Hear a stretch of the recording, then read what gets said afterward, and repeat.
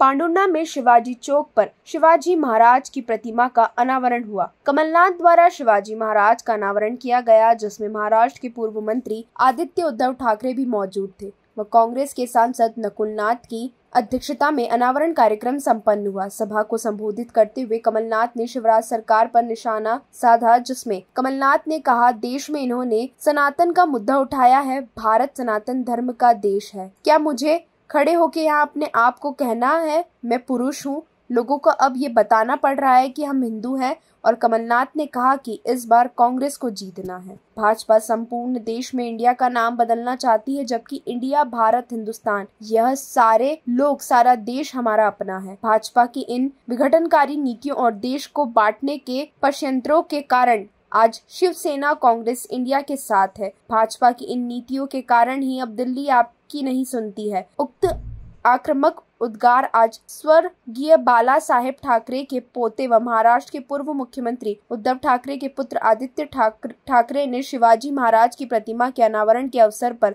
व्यक्त किए। उन्होंने अपने उद्बोधन में बाला साहेब की यलगाड़ जय भवानी, जय शिवाजी का उल्लेख करते हुए अपने हिंदी मराठी मिश्रित भाषा में आमजन में रोष भरा।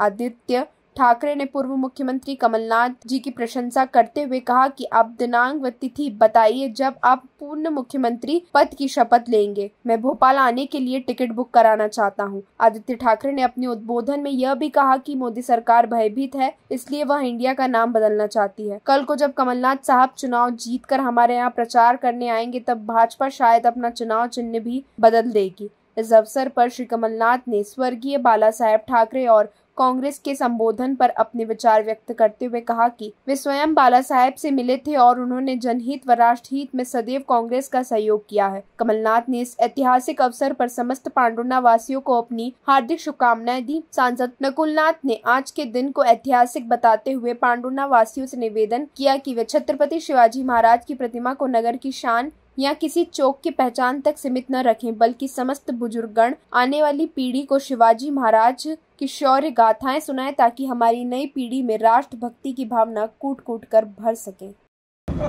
अब ये एक और ध्यान मोड़ने के लिए मुद्दा ला रहे हैं, सनातन धर्म। रोज सनातन धर्म की बात करेंगे। भारत सनातन धर्म का देश है। क्या मुझे खड़े होके या अपने आप को कहना मैं पुरुष हूँ? ये तो ऐसी